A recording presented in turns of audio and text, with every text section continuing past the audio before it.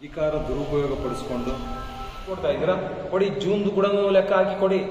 ನೀವು ಹಣ ಹಾಕ್ಬೇಕು ಅಂತಿದ್ದೀರಾ ತೀರ್ಮಾನ ಮಾಡಿದ್ರೆ ಚಿಂತಾಮಣಿ ನಗರ ಹೊರವಲಯದ ಬೆಂಗಳೂರು ಕಡಪ ಬೈಪಾಸ್ ರಸ್ತೆಯಲ್ಲಿನ ಜೆಕೆ ಭವನದಲ್ಲಿ ಹಮ್ಮಿಕೊಂಡಿದ್ದ ಸುದ್ದಿಗೋಷ್ಠಿಯನ್ನು ಉದ್ದೇಶಿಸಿ ಮಾಜಿ ಶಾಸಕ ಜೆಕೆ ಕೃಷ್ಣಾರೆಡ್ಡಿ ಮಾತನಾಡಿ ಉನ್ನತ ಶಿಕ್ಷಣ ಸಚಿವ ಹಾಗೂ ಚಿಕ್ಕಬಳ್ಳಾಪುರ ಜಿಲ್ಲಾ ಉಸ್ತುವಾರಿ ಸಚಿವ ಡಾಕ್ಟರ್ ಎಂಸಿ ಸುಧಾಕರ್ ಅವರ ಅಣ್ಣ ಬಾಲಾಜಿರವರು ಎರಡು ದಿನಗಳ ಹಿಂದೆ ತಮ್ಮನ ಅಧಿಕಾರವನ್ನು ದುರುಪಯೋಗ ಪಡಿಸಿಕೊಂಡು ಚಿಂತಾಮಣಿ ನಗರದ ಝಾನ್ಸಿ ಕ್ರೀಡಾಂಗಣಕ್ಕೆ ಲೋಕೋಪಯೋಗಿ ಇಲಾಖೆಯ ಎಇಇ ಸುಬ್ಬಾರೆಡ್ಡಿ ಹಾಗೂ ಪೊಲೀಸ್ ಸಿಬ್ಬಂದಿ, ಮತ್ತಿತರ ಅಧಿಕಾರಿಗಳ ಜೊತೆಗೂಡಿ ಮೈದಾನವನ್ನು ಪರಿಶೀಲನೆ ಮಾಡಿರುವುದು ಖಂಡನೀಯವಾಗಿದೆ. ಸಚಿವರು ಕೂಡಲೇ ಯಾವುದೇ ಅಧಿಕಾರವಿಲ್ಲದವರ ಜೊತೆ ತೆರಳಿ ಝಾನ್ಸಿ ಮೈದಾನದಲ್ಲಿ ಸ್ಕೇಟಿಂಗ್ ಮೈದಾನ ಹಾಗೂ ಸಿಥಟಿಕ್ ಟ್ರ್ಯಾಕ್ ನಿರ್ಮಾಣ ಮಾಡುವ ಬಗ್ಗೆ ಪರಿಶೀಲನೆ ನಡೆಸಿದ ಎಇಇ ಸುಬ್ಬಾರೆಡ್ಡಿ ಹಾಗೂ ಮತ್ತಿತರ ಅಧಿಕಾರಿಗಳನ್ನು ಕೂಡಲೇ ಅಮಾನತು ಮಾಡಬೇಕು.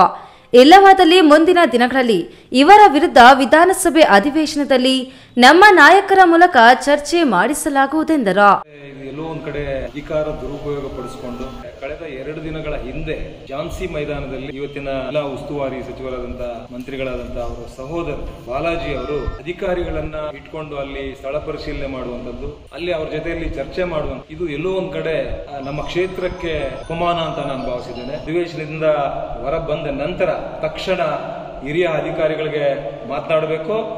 ಮಾತನಾಡಿ ಆ ಸಭೆಯಲ್ಲಿ ಆ ಒಂದು ಪರಿಶೀಲನಾ ಒಂದು ಮಾಡುವಂತ ಸ್ಥಳದಲ್ಲಿ ಯಾರು ಅಧಿಕಾರಿಗಳಿದ್ರು ಇವರನ್ನ ಕೂಡಲೇ ಅಮಾನತ್ ಮಾಡಬೇಕು. ಈ ಸಂದರ್ಭದಲ್ಲಿ ಎಲ್ಲಾ ಜೆಡಿಎಸ್ ಮುಖಂಡರು ಮತ್ತಿತರರು ಉಪಸ್ಥಿತರಿದ್ದರು. B. Devappa A news TV Chintamani. ಅಧಿಕಾರ ದುರುಪಯೋಗ ಪಡಿಸಿಕೊಂಡು ಕೊಡ್ತಾ ಇದ್ದೀರಾ? ಕೊಡಿ ಜೂನ್ ಕೂಡ ಲೆಕ್ಕ ಹಾಕಿ ಕೊಡಿ. ನೀವು ಹಣ ಹಾಕ್ಬೇಕು ಅಂತಿದ್ದೀರಾ ತೀರ್ಮಾನ ಮಾಡಿದ್ದೀರಾ?